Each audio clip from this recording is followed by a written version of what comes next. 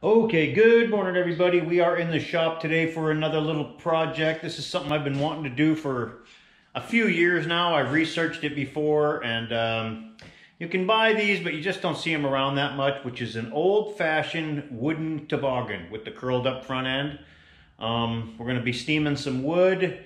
First, we're gonna make a jig to bend the wood. So um, I've got my work cut out for me. This is not gonna happen all in one day. This is not a one-day project.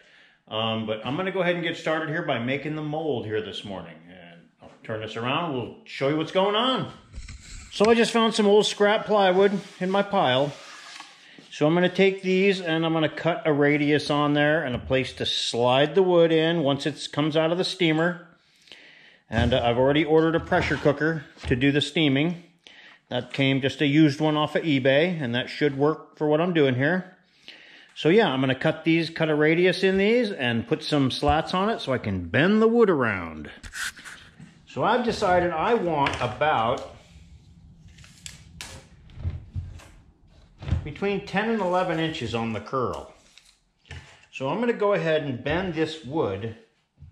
I'm gonna mark five inches in there and five inches in here. I'm gonna set my little compass or a scribe or whatever you have. And I'm going to mark a radius on that.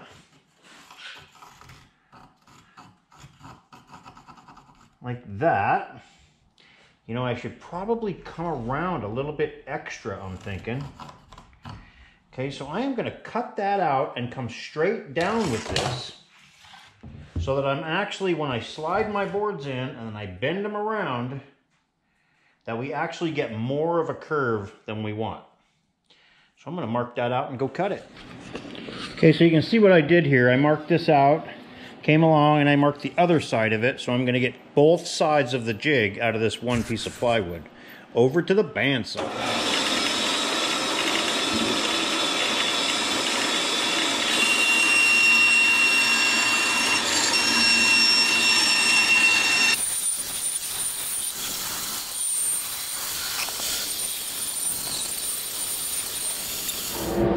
clean those up a little bit.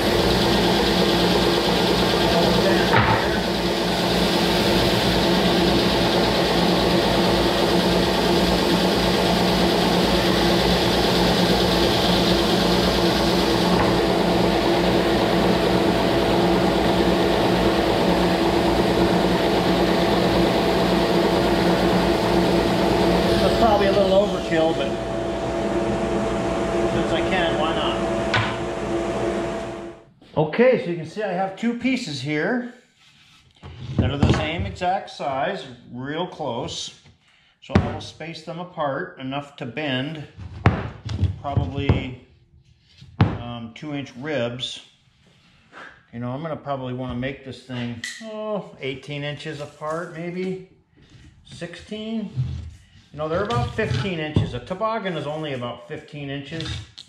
I'm thinking I should probably go ahead and make this thing maybe 20 inches. Give me plenty. Make a, make a jig 20 inches. So what I'm gonna do here is I'm gonna cut a series of two by twos that go around this thing so that we can slide them in and wrap them around. I'm gonna make some two by twos, 22 inches, 20 inches. Well, that 2 by 12 has a lot of little staples in it, and I do not want to run that through my SawStop. So I set up my old junky saw over here. I'm going to be ripping these down into one inch, I decided. So I'm going to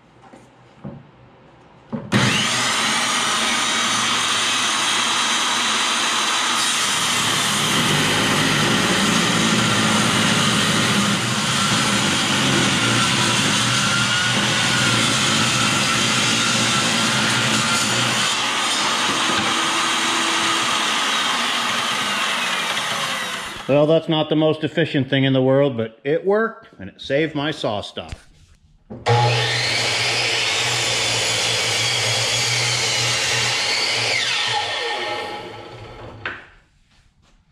Eighteen inches what I'm getting. About like that. And I'm gonna wrap those up and around. Probably have a little more than I need, but I'll use them for something. So I'm just gonna put a little dab of glue here just because I don't really need that, but I'm gonna do it just because I like to glue things together.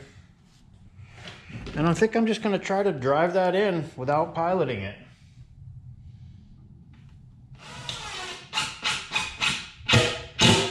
Yeah, inch and a quarter screws, just like that. I'm gonna flip it over and do the other one.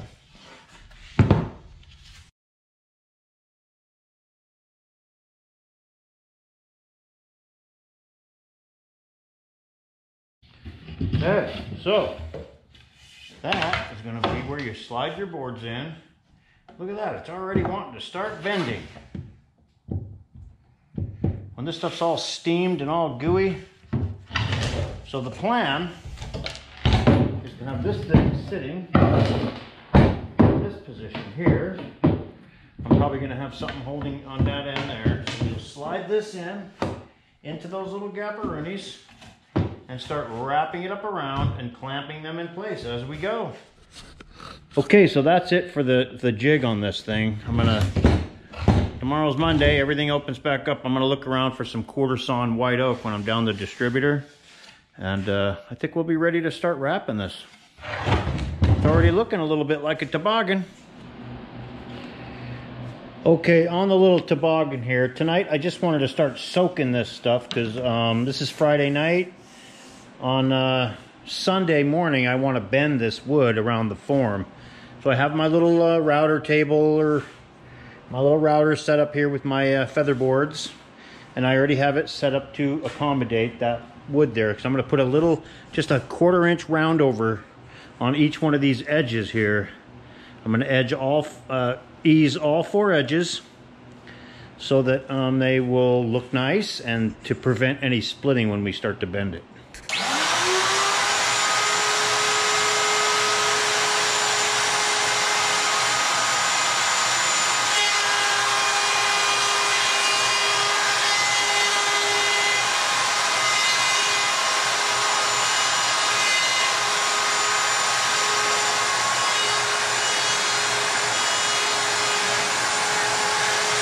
That's perfect. Just a little round over on that edge.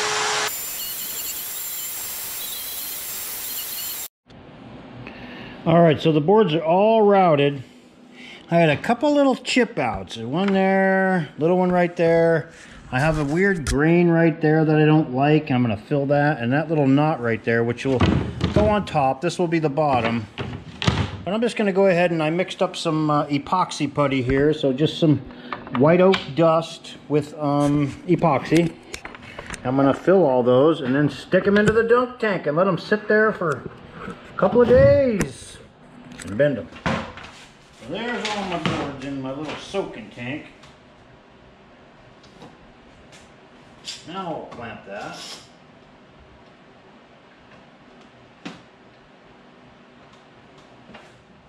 Now I can just get some hot water down in there without making a big mess. There, let's flow right about to the top there. I'll let that sit for a couple days. And into the steam box. Okay, good morning everybody. We are back in the shop on this toboggan project again. I got it all set up yesterday. Um, this morning I'm gonna start the fire in the steam box, get that thing rolling, and uh, Charles said he'd come out. I'm gonna let this go for at least an hour, hour and a half, steaming the wood, and then uh, Charles said he'd come out and help me bend it. So I'll show you what we got going on here. So there's my jig. I have it all rigged up with all the little brackets and clamps and things I need. And I have this little bench really weighted down with a whole bunch of weights. And these are full of concrete, little weights that I made. And here's the box. Uh, my buddy Mike from Ross Renovations gave me this box, or store. He's storing it over here. Anybody can use it. So I took his door and I just made another face for it that are going to fit my slats for the toboggan. And I have it rigged up over on this side here with the propane. I'm to fill this up with water, start the fire in that baby. Then I've had these soaking since Friday. This is Sunday. I'm to take all these babies out of this uh, tube that I've had them soaking in and stick them into the steam box once I get the fire going.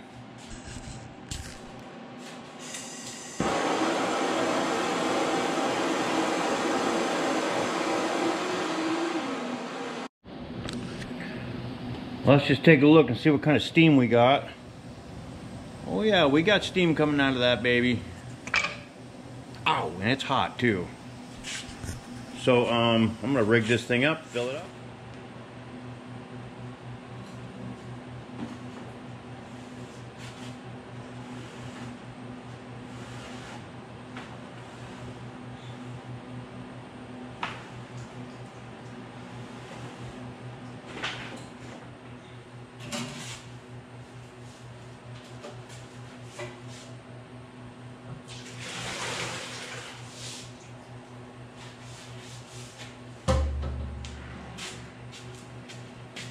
I dumped that water out, you can see a lot of the brown. The water, the, the white oak has a lot of tannin in it. You can see a lot of it. All right, let's start on the bottom here. Oh yeah,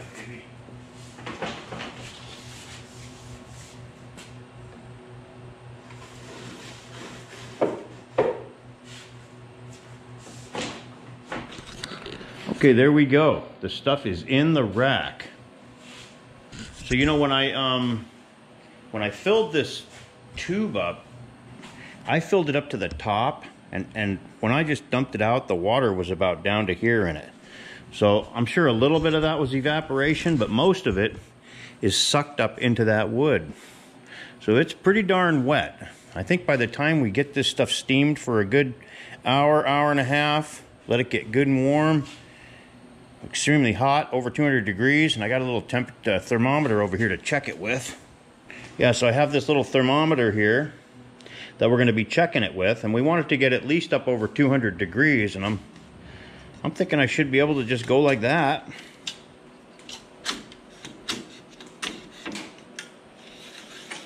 There we go.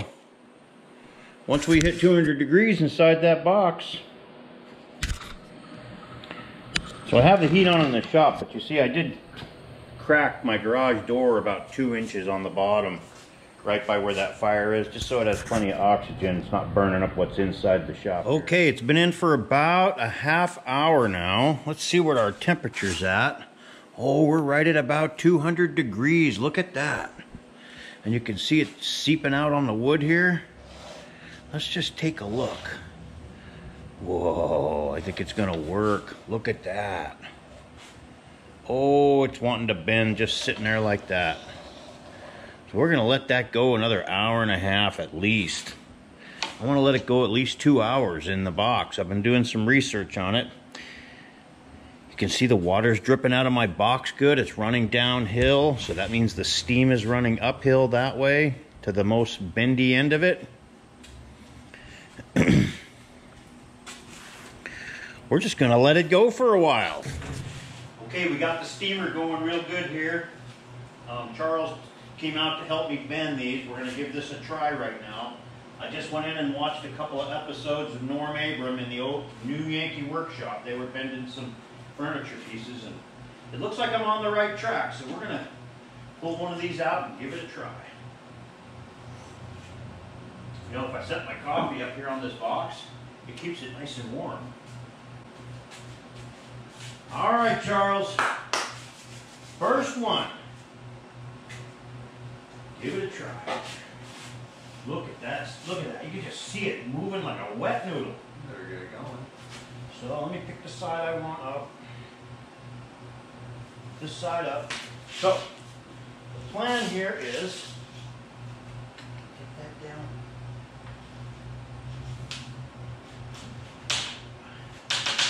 Right into that little slot there. I all the way in, Charles? Okay, all the way in.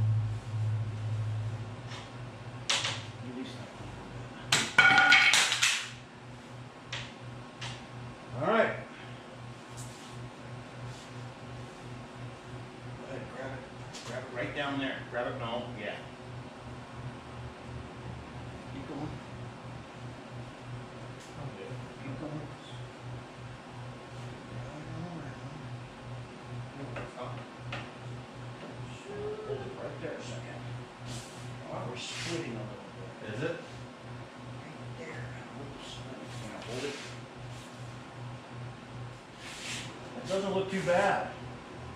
Not bad for the first try.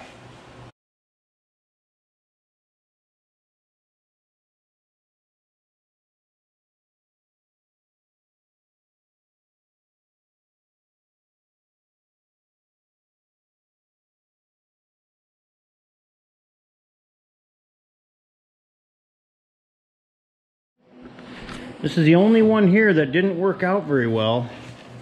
You can kind of see the grain was, I mean, it's a nice piece of quartered. The grain is going the right direction, but it has so much flecking in it and so much that it just uh, wouldn't quite make the bend. All right, so first attempt, you can see we had pretty darn good success.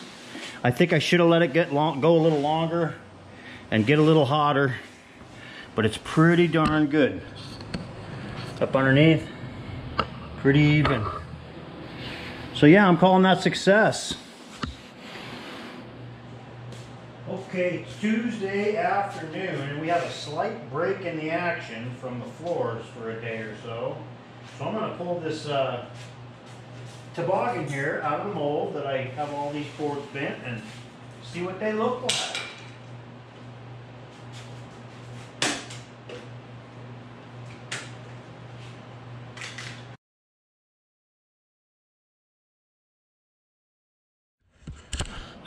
Okay, good morning. We are back in the shop today. We're going to work on this um, toboggan, hopefully most of the day, and get this thing all put together. So let's just turn around and see where we're at. So last night I took it out of the mold, and you can see I did a few little epoxy spots on it where the grain had lifted right around the corner there. And this one here actually was one that broke, and I re-steamed it. So it was a little short. You can see I did a little scarf joint right there. And when I put the frames on it, I'm going to put another little piece over that one. It's going to be a little repair right out the chute, but this is my first one. And uh, so I'm going to sand these. I think I'm going to just get my belt sander out and sand these right here on the bench one at a time. Do the top and bottom. Then probably get over there on my spindle sander and do these inside of these radiuses. Clean them all up and then get ready to make some frames for them.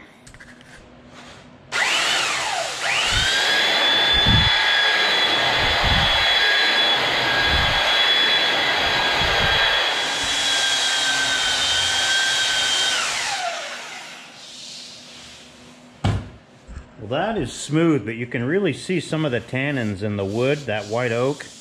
I'm not going to sand that completely out because I'll have to make it thinner than the other places. So that's about what I'm going to get. By the time I put the finish on it, you won't see that very much. Well, I'd sure like to use this edge sander for doing this radius right here, but I don't have the room without moving it. So I'm going to have to do it on my old one. And I have plenty of room to work that up and over like that. Okay, for the inside radius, I'm gonna try to use this little spindle sander I got. It's just a cheapo from Harbor Freight, but I don't use these very often, so let's just give it a try.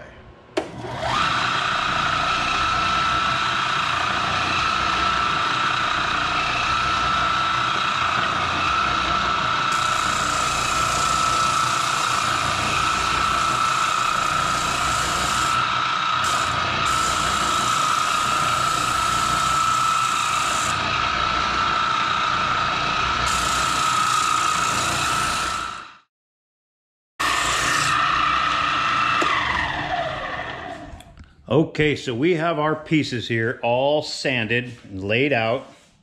Not necessarily in the way I'm going to put them all together, but pretty much something like this.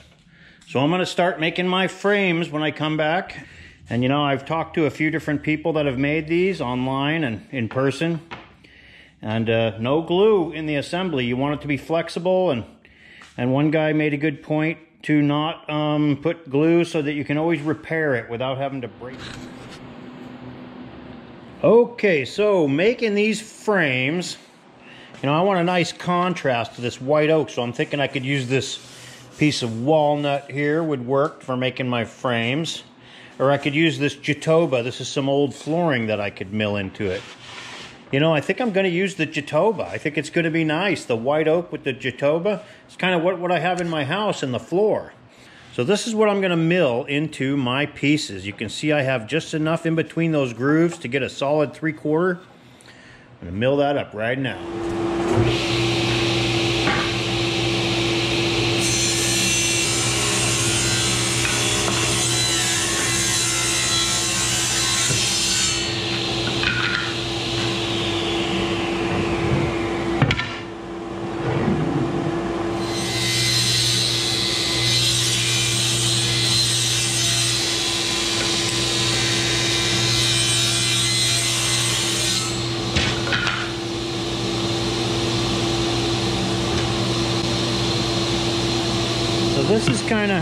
Going to work when I make the washboard. You see the end there, and then I'll make another cap for that.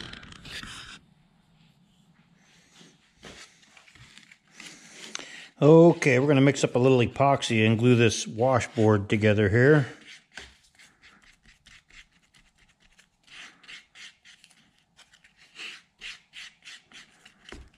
Okay.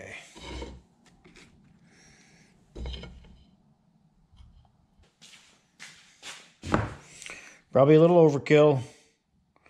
Okay, I'll let that sit. I'm going to run to the store and buy all my hardware.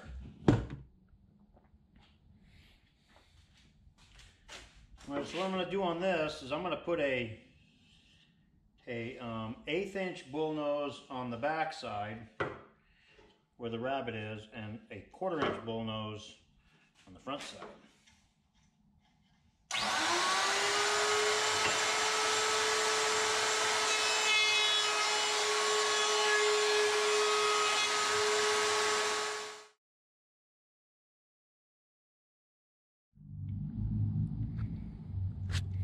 Okay, so my pieces are all fit. I'm going to start in the front here with this little washboard thing, and I want that to fit nice and tight. So I'm fitting all my boards into that first. I'll clamp it down and start bolting those together. When I through bolt these, and I bought some really nice little oval head stainless steel inch, quarter inch by inch and a quarter bolts with acorn nuts for the bottom. Okay, on this um, you know, I thought I heard somebody calling this a washboard, but I heard another guy calling it a breadboard today.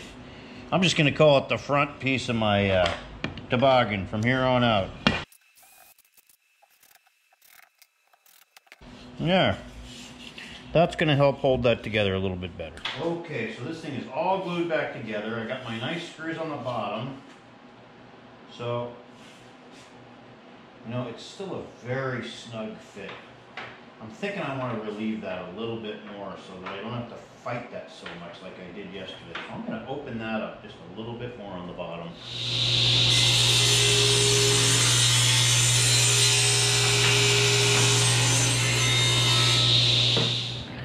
Okay, so I have this front board on where I like it. All my boards are up tight. Now, when I bent these, I want them all to be straight right there, and then I'm going to work these curves out as I go down. So I'm going to start off with my first hole a little off center because I have my rope that comes, my line that comes from the the aft back there, the transom or the back of this thing all the way up to the bow or the front. So I am going to drill my first holes off center here so my rope can come up over here and then the rest of the ones in the middle will be all in the center. Okay, first hole, quarter inch.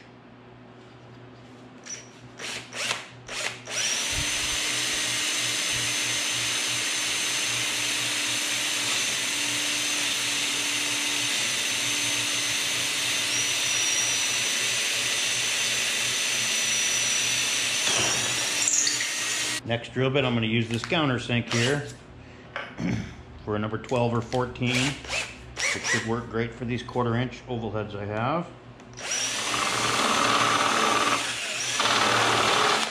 Just about like that. Okay, so I have my quarter inch oval head here. I may have to put a little bigger. I'm going to countersink that a little bit more.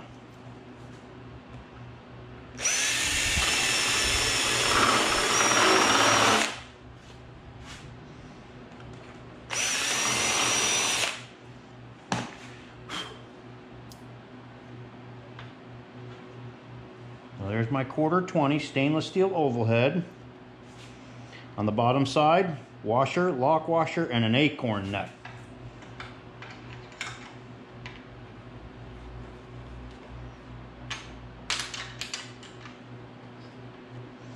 I'm not going to over tighten this, I'm just going to make it nice and snug, just like that.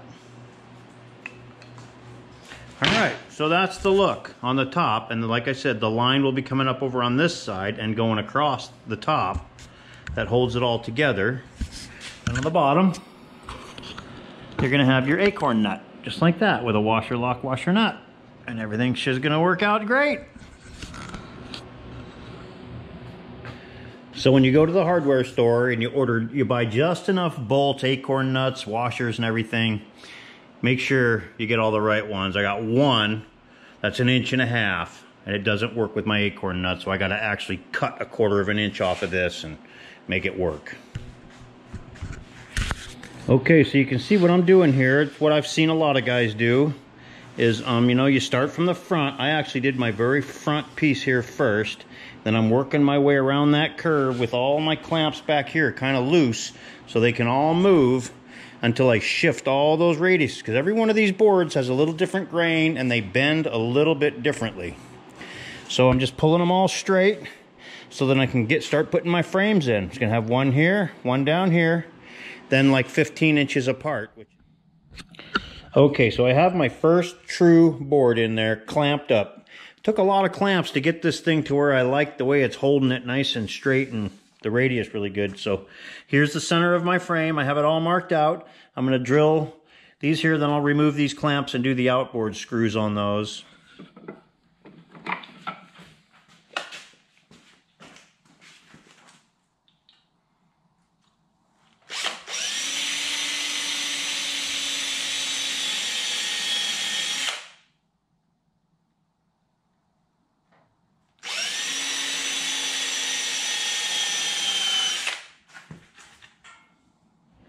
Okay, now for the moment of truth. I'll take off all these clamps and see how straight this stayed from here to here.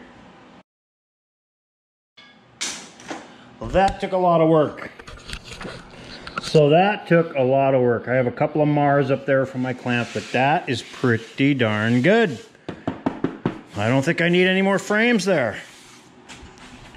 I left these proud. I'll just be cutting these off and trimming them up. So there's my first frame. Okay, so my next frame, you know, there's no real specific place it has to be, but I'm thinking I want it to be back from this a little bit so that when my rope comes up, my rope actually cants forward a little bit. And that's kind of my plan. So I'm thinking right about there is going to be my next frame.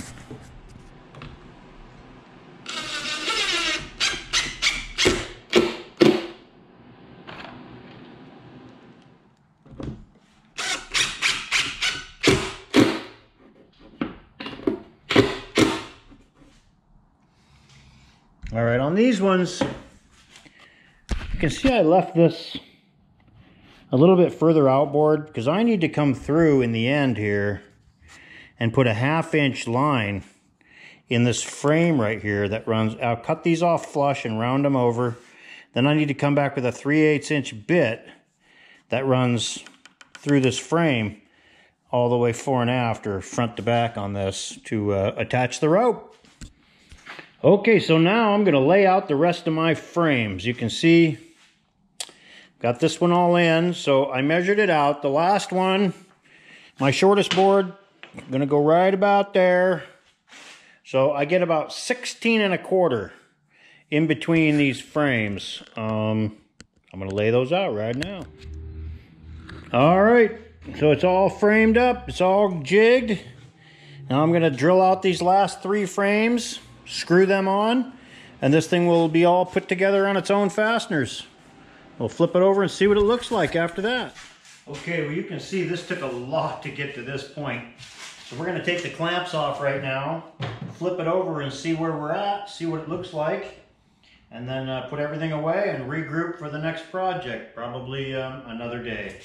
I'm about done for today.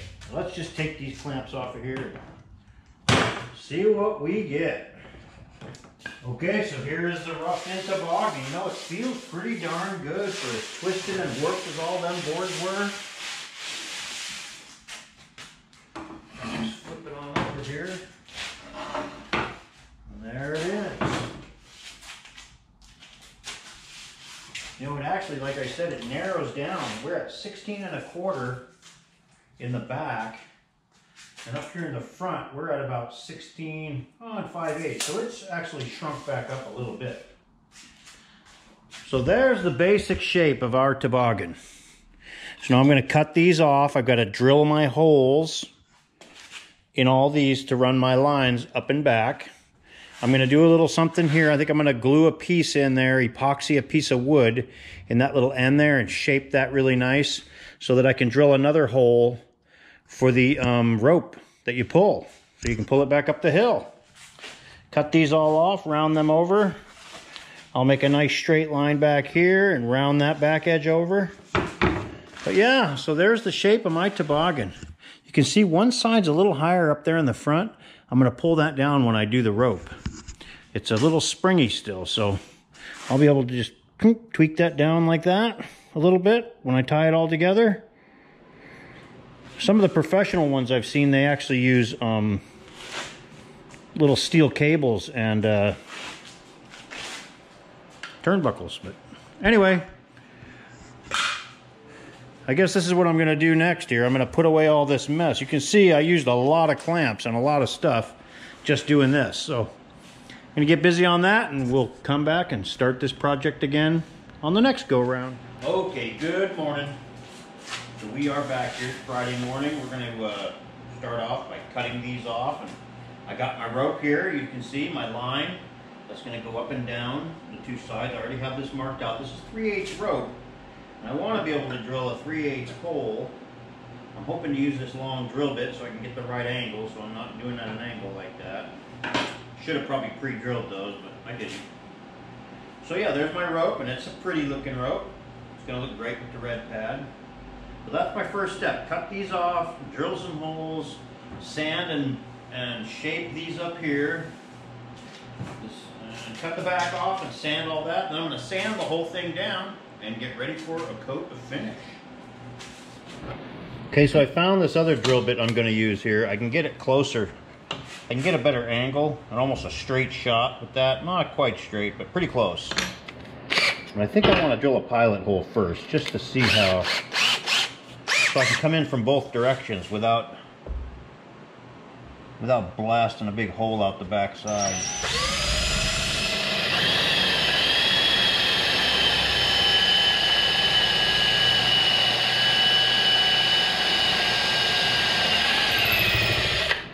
You see how hard that Jatoba is, man. It warms up the wood, creates a lot of friction.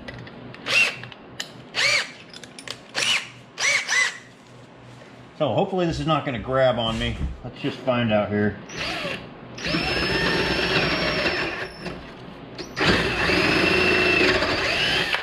Like that, I'll come in from the other side.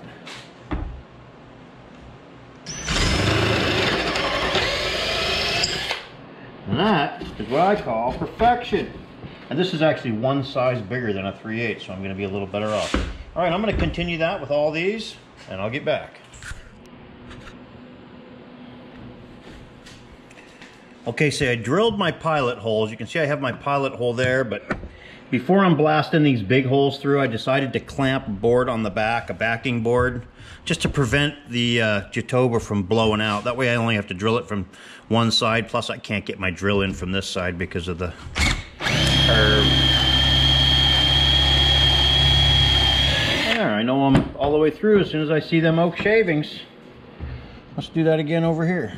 Okay, now to finish it off with a little bit of a countersink, just to just to ease the edges a little bit. Just like that. Yeah.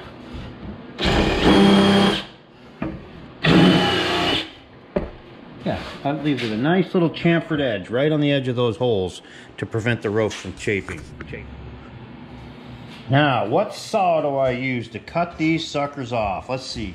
That Jatoba is really hard. Could I use one of these? I'm sure I could. You know what though? I'm a regular old American guy. I'm gonna try something a little different.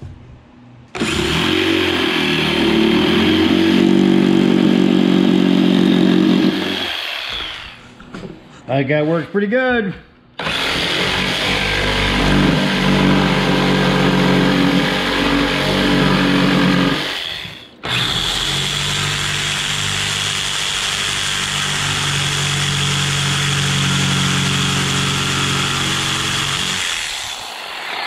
finish that up, sand those all. Be beautiful.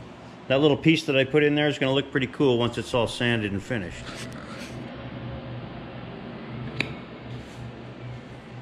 All right, now to cut off the uh, the stern or transom or the back, whatever you want to call it. So measuring back from my frame, this is my shortest one, and I'm going with the, making this thing as long as I can with what I got. So I have an inch and an eighth there and I have an inch and an eighth there. Let's just see how that works out with a framing square.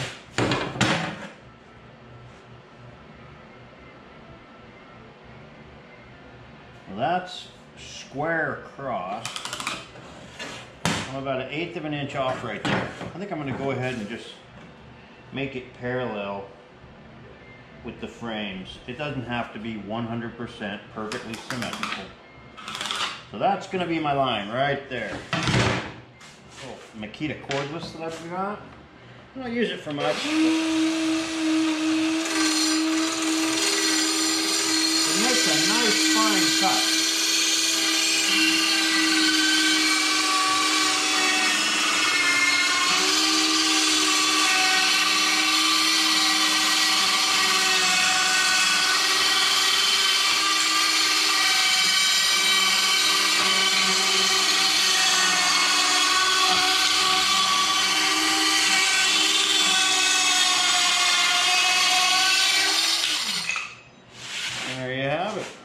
Beautiful. I'm gonna take my, I'm gonna get my belt sander out now and square up all this stuff with my hand belt sander and uh, then start rounding everything over, get it ready for finish. Okay, so I took this thing outside and I blew it off. I cleaned my whole shop as good as I can get it without completely emptying the shop out. It's been about six hours since I cleaned it. The dust has settled. I put on a clean shirt. I'm doing all I can to try to keep as much dust off of this thing as possible. So um, I'm going to mix up my first batch of West System. I have West Systems over there. Okay, you can see I have this Man of War Spar Marine Varnish. That's what I'm going to be using for the top coats. But for this base coat, I'm going to try this new, it's not new, but new to me. Um, I used to use West Systems a lot in the boat shop, but I don't use it much in floors, so I'm going to go with four pumps to start out here.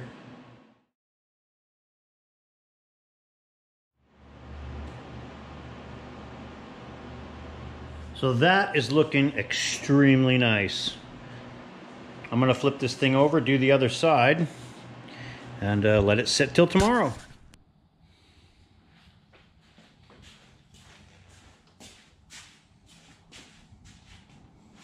Okay, so I got coverage on everything on the whole toboggan.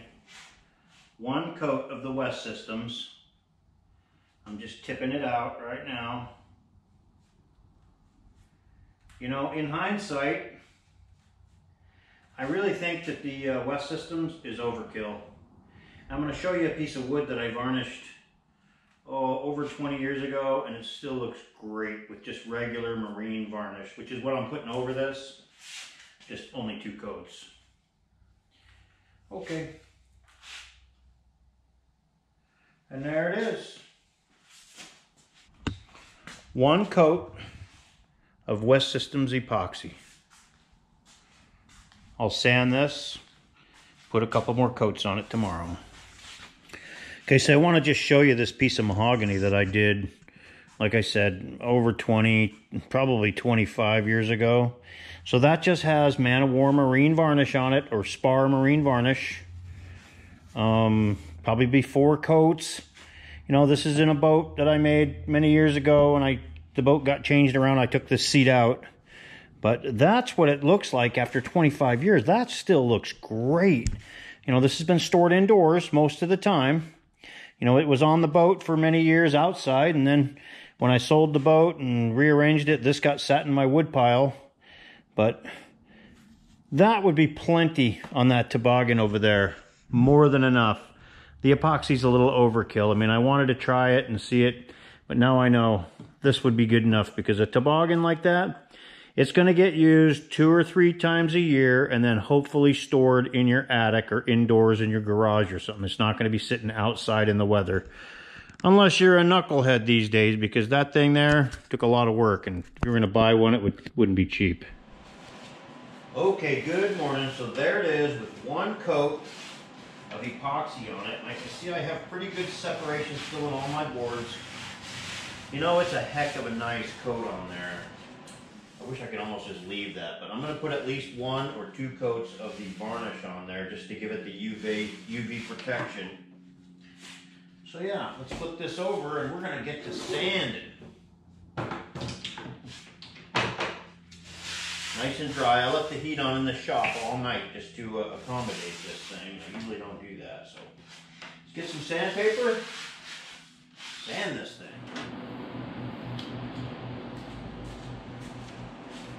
Okay, we're gonna finish up the toboggan here. I got busy doing a few other projects, but an update on the finish on this. You know, I epoxy coated it, then I put a varnish coat. The varnish coat stayed a little tacky, so I put another varnish coat. It never dried all the way. Um, you know, there was some kind of a problem with putting the spar varnish over the epoxy. I read about it, I heard you can do it. It didn't work on this, it stayed tacky, it never dried. So I ended up um, cleaning all that varnish off of this and it was a painstaking, long process. Now I'm back down to my epoxy, which I'm gonna leave this as the finish. I'm just scotch brighting it right now. I've got it down to where it finally powderizes and it's clean and dry. I'm gonna, I'm gonna clean this off and, and wax it and that's gonna be the finish on this thing. You know, it's my first try at making a toboggan and that was my first try at doing that type of a finish with um, epoxy with varnish over it. I'll never do it again. You know, it was something new and I thought I would be super special and make it great, but you know, a couple coats of varnish would have been plenty. As a matter of fact, I've seen guys, they just paste wax them and that's it. And then they melt the wax onto the bottom before they go down the hill. And that will happen on this before we go down the hill too. It will actually get, you know, some wax melted onto the bottom like you would do with your snow skis or a snowboard. So I'm gonna go ahead and finish up this little bit of uh, scotch brighting here and uh, wax this thing and finish it off. Put the pad on it and tie it up. Okay, final step. We're gonna wax this baby and we're just using some Carnauba wax that I got here. We're gonna wax it up really good, wipe it off. That's going to be a final.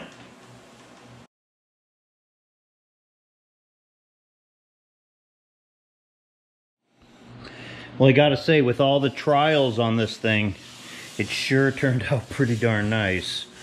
Um, you know, now it's just down to that coat of epoxy, which is down to a Scotch-Brite sand, purple pad, and then a coat of wax and it is slick. This thing is gonna fly down the hill. Well, next year, because we're done with snow for this year. But anyway, I'm gonna get busy tying this thing up. I just thought I'd let you see what it looks like all done. Okay, so, okay, so here is my pad that I ordered off of eBay, or maybe it was Amazon, can't remember, it was quite a while ago. I've been thinking about building this thing for a couple of years, actually. So that's going to be the pad that I'm going to tie onto it, right about like that. And that's right about where your first butt sits. One, two, three people max on this, I think. And this is the rope I'm going to tie it up with, or, or a line. You know, it's a rope when it's like this, but once it has a purpose on a boat, it becomes a line. All right, I'm going to get busy on that stuff.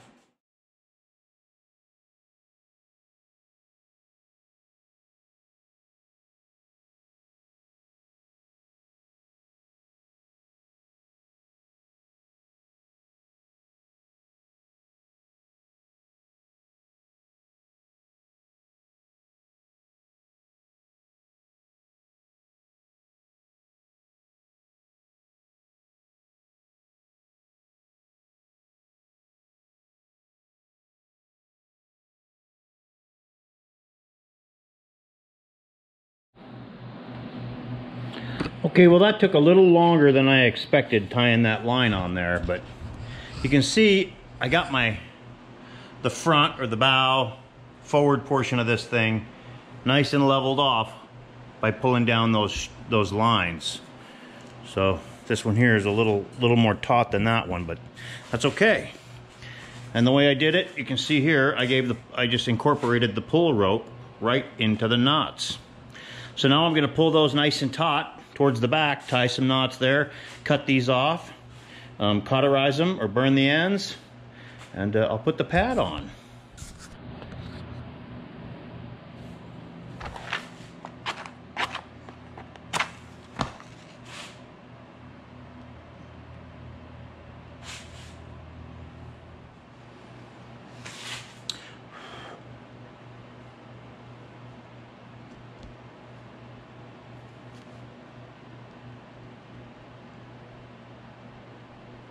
There.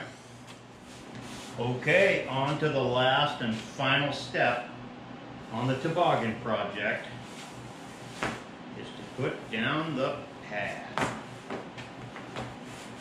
I'm thinking right about there.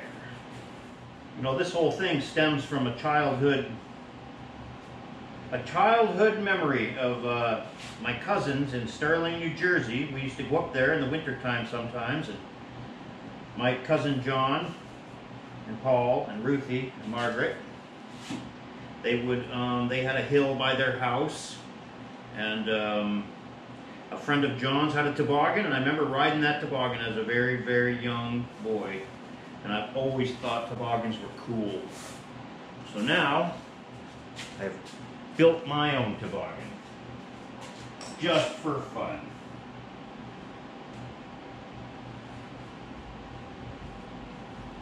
So I'll finish tying this on and uh, give you a final when it's all done.